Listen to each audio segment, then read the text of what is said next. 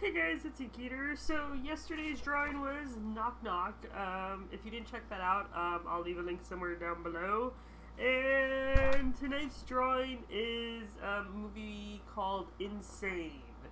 Uh, Insane is essentially about a couple who ends up at a house and that they just bought, and um, and uh, essentially they come to find that a lot of people were killed in this house, and essentially it was a clown from some guy who likes to dress up in in, in a clown outfit that was from an insane asylum, which is like, wow, just about every typical horror movie out there, except for it kind of was cheesy and the acting kind of was kind kind of bad, and uh, the edit the editing I will say was probably like the ah. Uh, it could have had some saving grace in the editing part and acting wouldn't have looked so bad. I don't know. Anyway, that's my opinion. If you want to check out the movie, I'll leave a link down below. Um, at your own risk.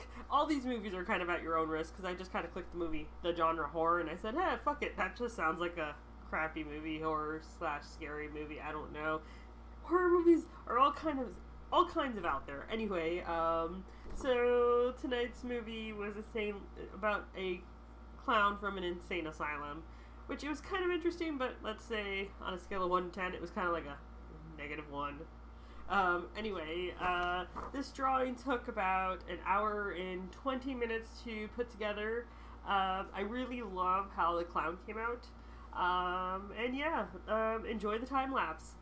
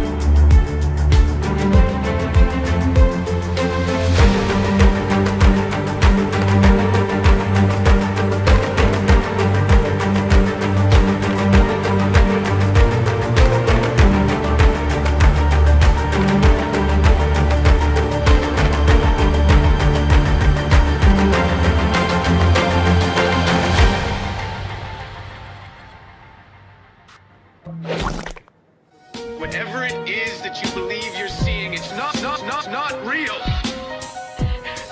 Seeing things before they happen. Things are not always what they seem in this place. So you can't take anything for granted.